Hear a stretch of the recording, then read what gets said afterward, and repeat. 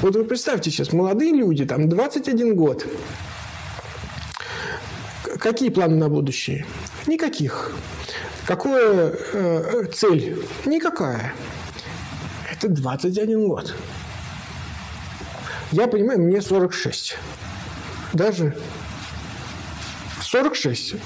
Вот мне уже сложнее цели как-то. Ну, я уже так это... Я все равно был бы военным, уже был бы пенсионером. Вот, э, как планировал. Вот. Нет, уже каких целей-то сложно. Но если бы у меня в 21 не было, что бы у меня было бы в 46-то?